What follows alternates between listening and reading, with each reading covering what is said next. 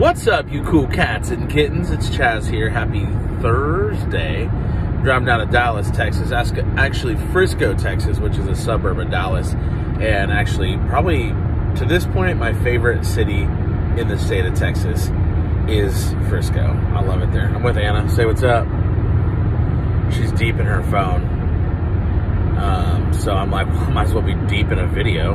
you know what I'm saying? If I'm going to be driving down the highway with both hands on the wheel, I might as well take one off and make a video. Now, hey, I wanted to come on today and just say what's up. Happy Thursday. But I also wanted to pop in and give you just a little bit of encouragement to invest in yourself. And so today, I'm titling this message to you, Student of the Month. And, uh, you know, I decided this year that I was going to invest financially, mentally, emotionally in myself uh, for growth, for growth in business, for growth in life, for growth spiritually, emotionally, mentally, and um, I mean it's a, it's a journey, right? And so I have started to do that over the last few months in different areas. You know, some of you know I'm you know six months into real estate, and um, I've been in the personal development game, if you will, for I guess over five years now. I've learned so much along the way, and I continue to learn each and every single day. Um, and as we're on our way to Dallas this weekend for our second year in a row to go to this event called Million Dollar Mastermind,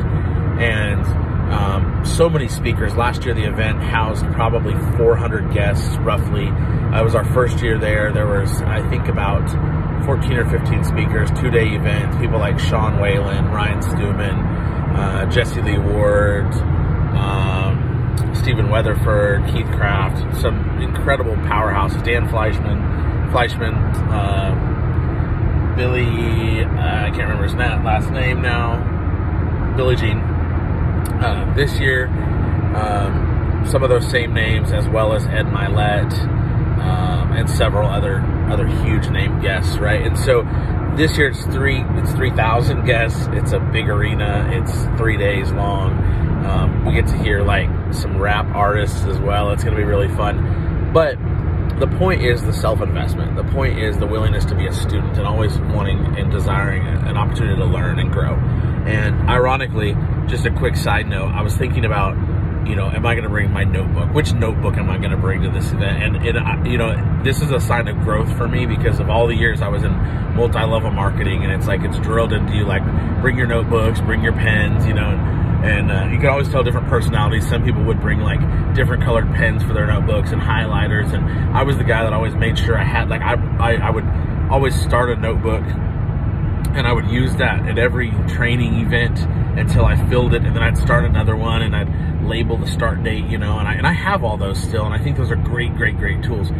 However, this year I've allowed myself to just take things in. And when I was thinking this morning, like, oh, am I going to take a notebook? I actually told myself, no, if you need to take notes, take notes in your phone. Otherwise, just be be present in the room. And actually, I learned a lot of that from Anna um, because I remember when we were actually in the same network marketing company and I, we would be in, in the in the company of our of each other at like events or even like online events, and I'd notice she wouldn't be taking notes, and I'd be like, as a leader in in the company or in, in our team, I would think, gosh, why isn't she like taking notes? And it was really because she could absorb more by just being present. And sometimes I would be so caught up in the supposed tos, right? That I would just be so focused on that and not being present in the moment. And so I've, I've definitely made it a priority for myself to be present in the moment for this weekend. It's an investment financially, emotionally, and even spiritually um, to just be present in the moment of the weekend. And so, again, always be a student and be willing to learn and grow. And I happen to be talking a lot about business right now, but for you, I just want to say give yourself permission to be a student in anything. And and and I encourage you to think of the things that maybe you want to grow in.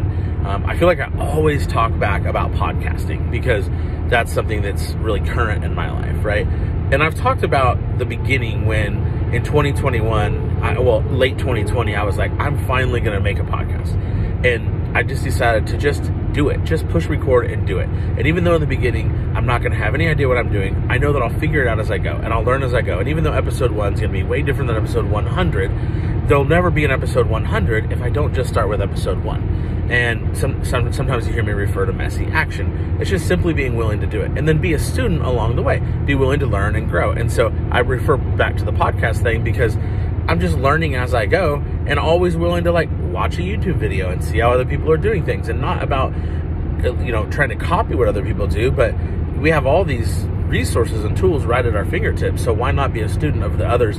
People have paved the way and done things successfully in front of us. And most people you'll find are willing to share. So again, friends, just be willing to be a student. Be open minded, be open to learning and growing. And I encourage you to do that. I hope you have a great, fabulous, wonderful, incredible day. You are awesome. You're created with purpose, on purpose. God loves you. So do I. Have an awesome day. Do you have anything you want to say? Perfect. Bye.